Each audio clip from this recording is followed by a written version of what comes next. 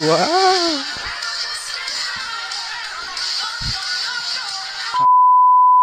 Hi mga ka-familiars, mayong gabi sa intanan. This is your boy, Felmark Flores, your video reactor.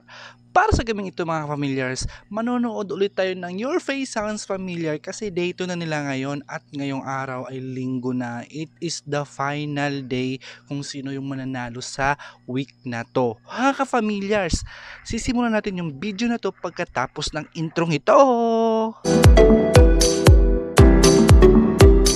So idol trio ng mga ka-familiars, the Pointer Sister, the Idols. Mhm. Mm, the Pointer Sister, wow. Magagaling din to mga to mga guys. Mga guys. Wow. Parang Egyptian lang ah. Stig. Hmm? Lucas? It's Lucas, guys. Ganito ka ng trio na to. Pag mga babae yung ano guys, diba, yung mga kinokopya nila. talagang full ano talaga eh. Full performance. Talagang bigay na bigay. Effort na effort. Galing. Mhm.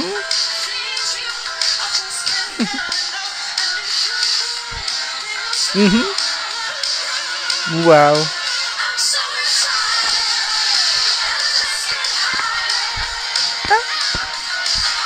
Mhm.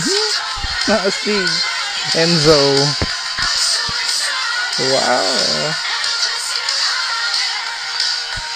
Nakakamiss talaga yung nakakatugtog ng ganito.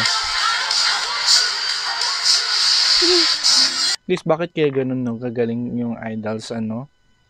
Pag babae yung nakukuha nilang um, iconic celebrity, talagang full performance at full effort yung binibigay nila. Pero pag lalaki parang less. Napapansin ko lang. Yeah! Hmm, galing ng boses ng Lucas, aba. Mhm.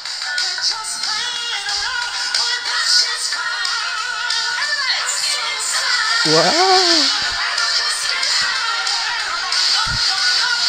Napaka-unique ng mga boses nito mga to, galing.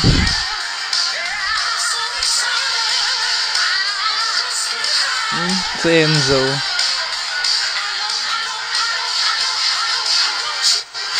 Mhm. Talagang yung boses ni Lucas dito guys, nangingibabaw. Pero hindi sila magkakamuka. Mm -mm. Ng totoong iconic. Pero yung boses, I like yung boses. Mhm. Ang sarap pakinggan.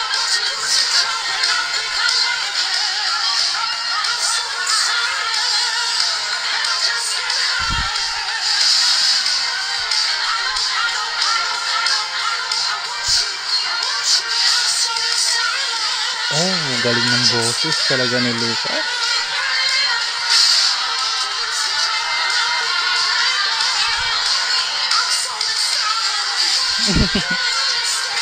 yung mga backup sa likod parang ano lang ah.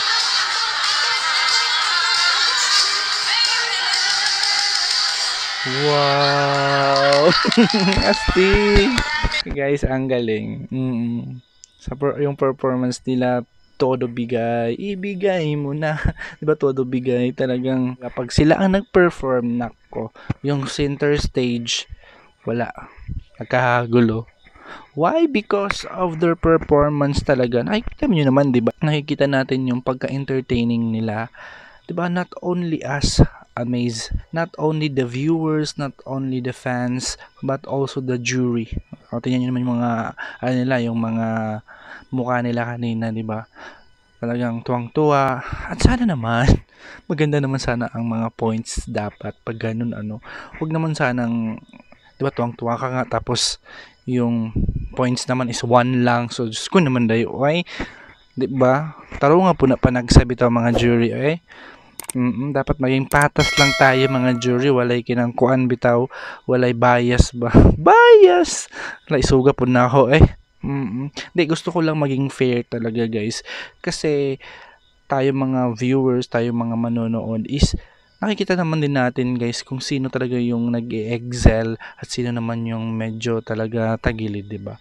Kaya nasasabi natin yung mga ganon. Sa bagay kasi guys, wala naman tayo dun sa um, kinatatayuan nila at kinauupuan nila, 'di ba? So kaya sila yung nagja-judge. So we have to accept the reality na yun talaga yung score na binibigay nila. So ayun na nga yung reviews and reaction natin guys sa idols and ayun talagang overall, I am entertained.